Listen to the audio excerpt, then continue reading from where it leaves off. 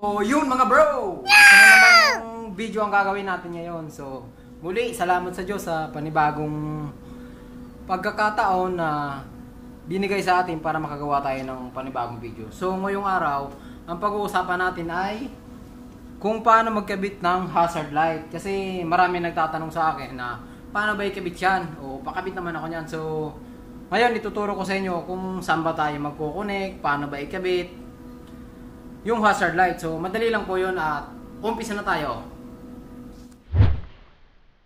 Kick.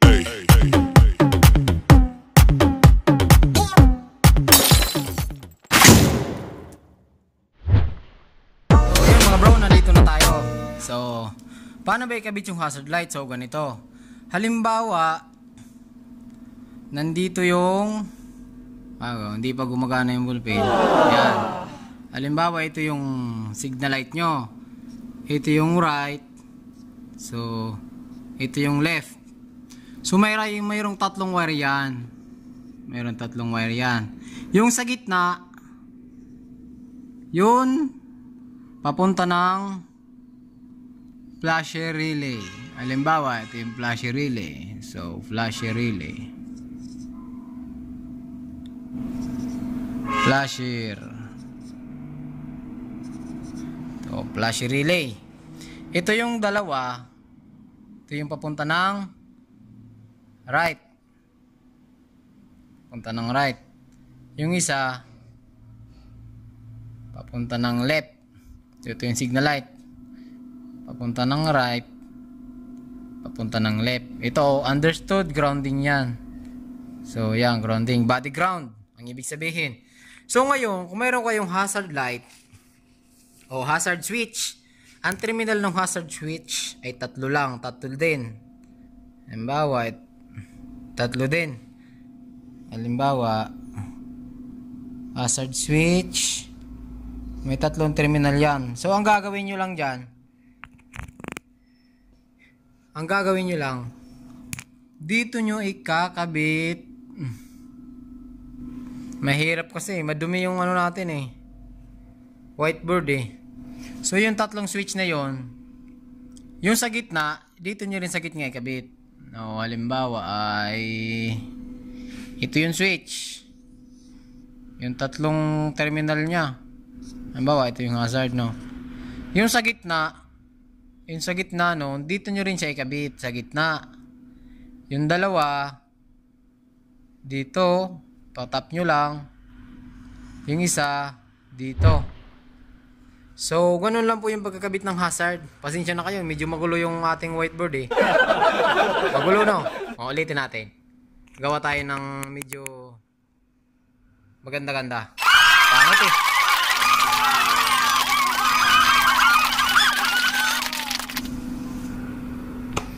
Subali, ang pagtatapan nyo lang ng halimbawa, dito tayo sa flash relay. Ito yung flash relay. Bali may dalawang may dalawang terminal tong flash relay. Isang papunta ng battery. Yung isa niyan papunta ng switch. Ito yun nga, ito nga yung yung ano signal light na switch. May tatlo 'yan. Ganito. So mali. Mali, mali, mali.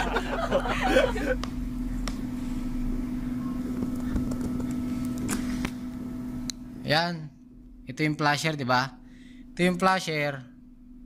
So, ito yung yung isa ng flasher. Sabi ko nga sa inyo, manggagaling ng battery yan. Yung isa, papunta ng switch, signal light, nasa gitna yan. Yung, di ba sabi ko sa iyo, may tatlong terminal. So, ito yung isa, papunta ng right na ilaw. Right na ilaw. Ito yung signal light na ilaw. Tapos yung isa, papunta ng left. So, papunta siya ng left. Yung terminal ito, automatic ground na yan. So, kung magkakabit kayo ngayon ng hazard switch, ito lang yung pagtatapan yung tatlo. Dito lang kayo magtatap sa tatlong wire na ito. Bali, ang mangyayari kasi niyan, yung galing flasher, magtatap kayo ng isa, galing flasher, pwede rin dito. galing flasher. Tsaka yung papunta sa ilaw. Ito. Itong dalawa. So, ito yung ito yung hazard nyo mangyayari. So, dito yung hazard nyo. Yun, simple-simple lang ikabit. Ngayon, may tuturo ko sa inyong tricks. Yeah! Na halimbawa, hindi hazard switch ang hindi hazard switch ang nabili nyo. Yung normal na switch lang, yung SPST, yung dalawa lang. Kasi, yung hazard switch, tatlo talaga dapat yun eh. Tatlo dapat yun eh. So, paano kung dalawang switch lang ang gagamitin nyo pang hazard? So, yun. Yun, bibigyan ko kayo ng tips kasi ito working to eh. Ginawa ko to, ginawa ko na to eh. Kung gusto niyo makatipid, ulitin natin. Halimbawa, ito yung flash relay mo. Flash relay. May dalawang terminal yan, sabi ko, di ba? Yung isa papunta ng battery. Ah, battery. Yung isa papunta sa switch. Halimbawa, ito yung switch. Halimbawa, ito yung switch. So, right. And then left. At tapos ito, papunta ng right na ilaw. Ito, papunta ng left na ilaw. Uh, yun lang. Tapos ito, ground. So, ganun ang wiring diagram ng signal light natin. Ganun ang wiring ng signal light natin. So, paano kung dalawa lang ang switch mo? So, ang switch mo ay, halimbawa, ganito lang ang switch mo. Ah, ganun lang. So, SPST lang. So, normal na switch lang ang nabibili mo. Oh, yung SW. Ngayon, ang pagkakabitan mo nito, ang pagkakabitan mo to, itong wire na itong, itong wire na itong positive positive wire dito nyo lang ikakabit yung isang paa tsaka dito. So yun lang po ang mangyayari kasi nyan pero itong itong klase ng pagkabit ng hazard ay nung hazard hindi mo siya mapapagana kung hindi mo bubuksan itong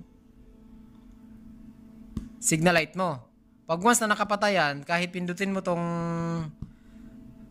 switch mo, so walang mangyayari. So, pero pag once na, bawa, nag-signal light kayo pa kaliwa, so iilaw to. Pakaliwa, nag-signal light kayo. Ngayon, pag pinindot mo itong switch, sasabay yung ano, sasabay yung sa right. So, simple simple, hazard. Nakatipid ka pa, pero ang advantage kasi, doon sa kabila yung una nating ginawa, yung kahit nakapatay ang signal light mo, pag once na pinindot mo yung hazard, magka, mag-hazard yung ilaw mo. Pero dito sa tinuturo kong ito ngayon na panibago, pag once na hindi ka nagbuhay ng isang ilaw, hindi rin gagana yung hazard mo. So, kailangan, para mapagana mo yung, kailangan mo muna buksan yung signal light mo para mapagana mo. So, ganun lang po yung pag-wiring. Simpleng-simple. Kung mayroong kayong gustong itanong o hindi nyo naintindihan, i-comment nyo lang. Yun mga bro, ganun lang yung pag-wiring ng hazard switch. Pasensya na kayo kasi medyo pangit yung whiteboard, madaming sulat, tsaka tawag dito? Ah, uh, tawag dito? Whiteboard marker. Medyo wala na lamang kaya pangit. Pero kung mayroon kayong gustong itanong o hindi nyo naintindihan, i-comment nyo lang sa baba at sasagutin natin niya. So, minsan gagawa tayo ng video na actual kasi mahirap dito kasi hindi naman lahat tayo nakakaintindi ng diagram, wiring diagram. So, gagawa tayo ng video na actual natin ikakabit yun. So, yun lang. Maraming salamat at God bless.